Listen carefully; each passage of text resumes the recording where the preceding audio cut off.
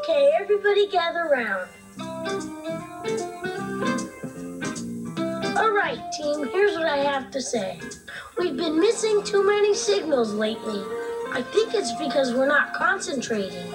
If we know our signals, we just have to pay attention. It's simply a matter of concentration. Are there any questions? I have a question. How does she do that?